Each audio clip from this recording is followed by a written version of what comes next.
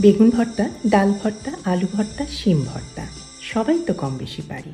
আজ তাই মনে হলো নতুন ধরনের এই ভর্তাটা আপনাদের সাথে শেয়ার করব। প্রিয় দর্শক, আসসালামু আলাইকুম। আমন্ত্রণ হোমায়রার কিচেনে। বুঝতে কি পারছেন এটা কি দিয়ে তৈরি করেছি? তৈরি করেছি খুব সাধারণ কয়েকটা উপকরণ দিয়ে। সহজ কিন্তু প্রচণ্ড মজাদার।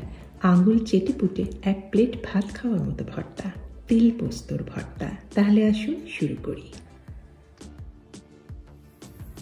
ভর্তা শুরু প্রথমেই তিল আর পোস্ত শুকনো খোলায় টেলে নেব। নিয়েছি তিন টেবিল চামচ পরিমাণ পোস্ত আর এক টেবিল চামচ পরিমাণ কাঁচা তিল। হালকা আছে পাঁচ ছয় মিনিটের মতো একটু মচমচে করে টেলে নিলাম।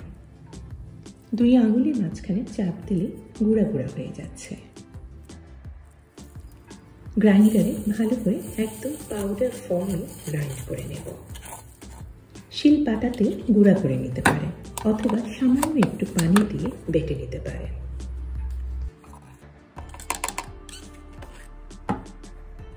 গ্রাইন্ডারে মিহি করে গুঁড়া করা হয়ে গেল। অন্যান্য ভর্তাগুলির মতো এই ভর্তাতেও লাগবে ধনে পাতা রসুন, পেঁয়াজ, কাঁচামরিচ। আমি এখানে নিয়েছি প্রায় সত্তর গ্রামের মতো ফ্রেশ ধনে পাতা।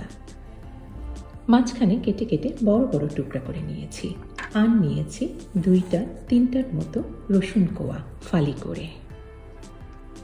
একটা কাঁচামরিচ। ঝাল যদি বেশি পছন্দ করেন, অবশ্যই আপনারা আপনাদের স্বাদ অনুযায়ী কাঁচামরিচ বাড়িয়ে দিতে পারেন। আর একটা মাঝারি সাইজের লাল পেঁয়াজ কেটে নিলাম।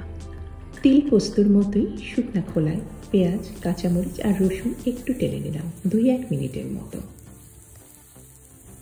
ধনে পাতাগুলিও শুকনো খোলায় তেল ছাড়াই আগের মতোই তিল পোস্ত, পেঁয়াজ, রসুনের মতোই সেঁকে নিলাম, এক মিনিটের মতো।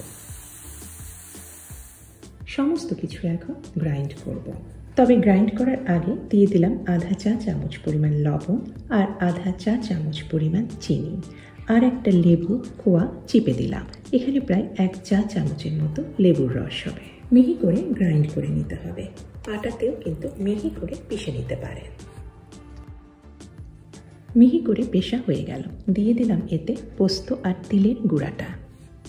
আর এক টেবিল চামচ পরিমাণ সর্ষার তেল। ভর্তা বলে কথা, সর্ষের তেল তো দিতেই হবে। দুই এক মিনিটের মতো গ্রাইন্ড করে, ভালো করে মিশিয়ে নিলাম। ব্যাস, তৈরি হয়ে গেল আমার খুব মজাদার ঝাল মিষ্টি টক স্বাদে তিল পোস্তর ভর্তা। দারুণ স্বাদে তিল পোস্তর ভর্তা তৈরি করে ফেলুন এই শীতের মধ্যেই বাজারের সবুজ, সতেজ ধনে পাতা দিয়ে।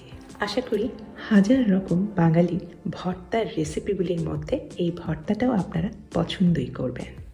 রেসিপি পছন্দ হলে সাবস্ক্রাইব করে আমার সাথেই থাকবেন। এটাই আমার একমাত্র মোটিভেশন, আমার পছন্দের একটু অন্যরকম রেসিপিগুলি আপনাদের সাথে শেয়ার করার জন্য। তাহলে আজকে এখানেই বিদায় নিচ্ছি। সবাই ভালো থাকবেন। আল্লাহ হাফেজ।